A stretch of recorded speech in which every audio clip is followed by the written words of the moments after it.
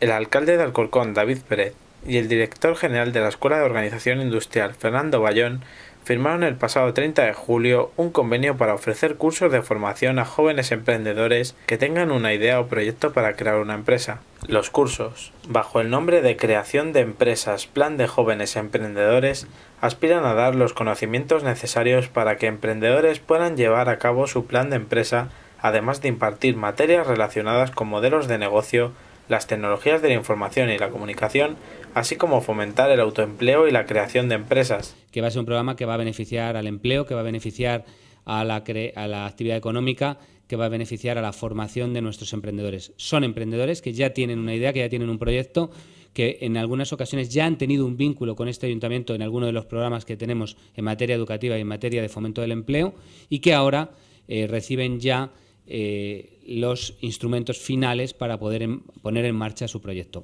Ser emprendedor o emprendedora, con una idea para formar una empresa y superar el proceso de selección según unas necesidades específicas, serán los requisitos para acceder a estos cursos que tendrán abierta la participación a jóvenes de toda la Comunidad de Madrid e incluso de otras localidades. Por un lado, la apuesta hacia el concepto de los emprendedores.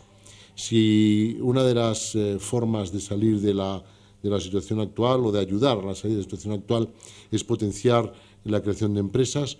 Desde luego nosotros estamos ahí y estamos potenciando el que las personas que tengan un proyecto puedan desarrollarlo. El concejal de Economía y Empleo, Carlos Gómez, explicó los detalles de estas clases formativas, las cuales se impartirán en modalidad presencial con una carga lectiva de 235 horas y se desarrollarán en el Instituto Municipal de Empleo y Promoción Económica IMEPE. En total los cursos son 235 horas la parte lectiva está estimada en 62 horas. Va a ser en, horario de tarde de 4 a 8 de la tarde desde el 17 de septiembre. Luego tiene una parte de tutorías fundamentalmente para, para el plan de empresa.